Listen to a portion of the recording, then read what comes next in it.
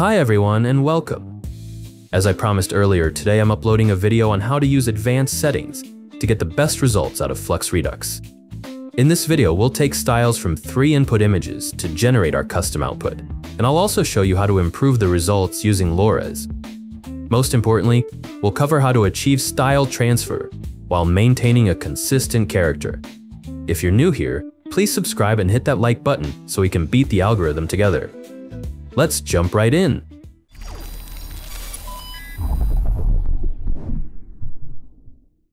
First, let's take a look at the workflow. Don't worry, it's not as complicated as it might seem. You can download everything you need from the link in the description, including all the models we're using. We're starting with the FluxDev model FP8, then adding a LoRa loader. For this demo, I'm using the Amateur Photography version 6 to boost realism, setting it at a 0.7 strength. Of course, as always, we have our dual clip loader, and we also need to load the Flux Redux Dev model as our style model, plus the Siglip Clip Vision model. Don't worry, all links and resources are conveniently located below. When it comes to the positive prompt, keep it simple.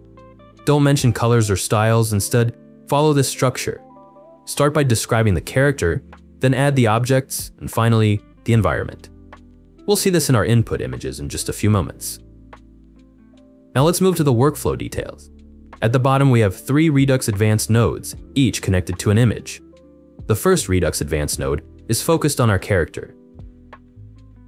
Here we only want to capture the style and pose, not the background. To do this, we'll use the Mask Editor.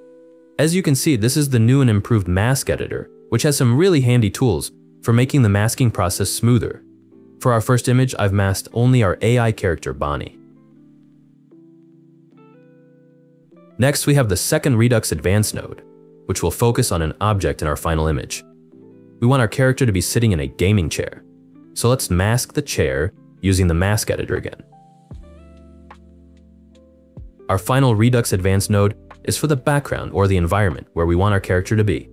In this case, it's an empty room with a wooden floor and blue LED lighting on the ceiling. Let's connect our masks to their corresponding Redux Advanced nodes.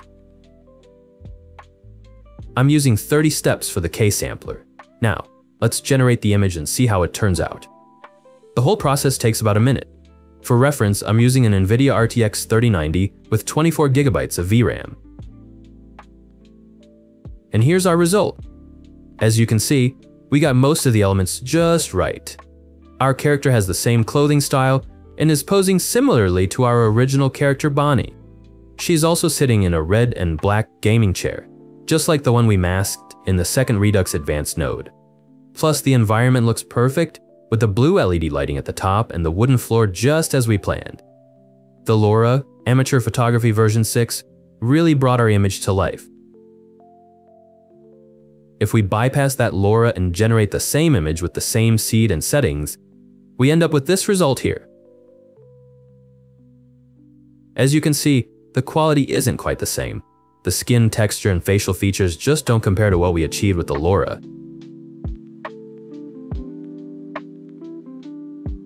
Now, I'm going to use a custom LoRa I trained specifically for our AI character Bonnie.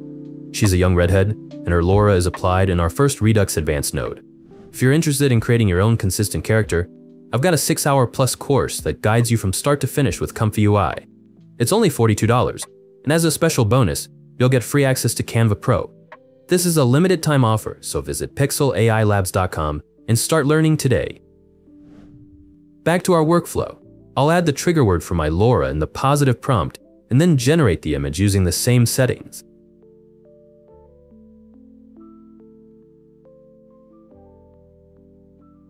As you can see here, we have our character Bonnie in the new style, and now we can start generating images inspired by the specific look we want for her.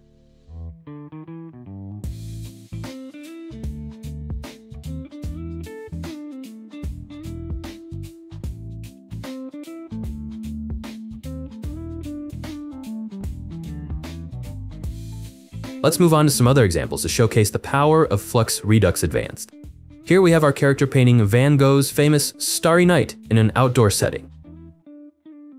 We masked the woman painting on a canvas in the first image, masked the Starry Night painting on a stand in the second image, and used a third image with a natural background to inspire our final environment. In the positive prompt, I wrote, Photography of a young redhead woman in a natural environment, painting on a canvas on a wooden stand. Simple, right? You'll notice I didn't mention Van Gogh's painting or her clothing. We want to get all those details from the reference images. And here are our results.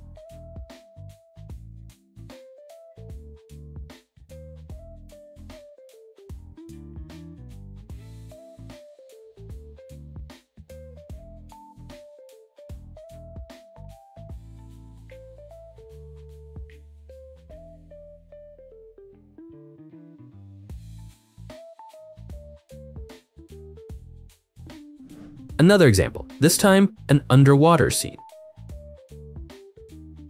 First, we focused on our character swimming underwater, then on golden fish in the second image, and finally on an underwater view for the background. Together, we ended up with this beautiful composition.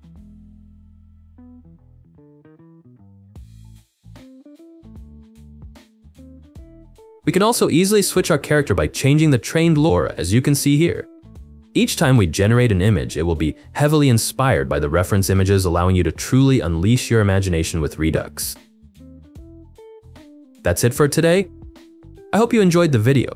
I'd like to thank everyone who supports this channel, all the YouTube followers, Pixel AI Labs course students, and paid members. You all rock, and you're the reason I can keep uploading content and helping you tackle any issues you encounter. Thanks again, and I'll see you in the next few days.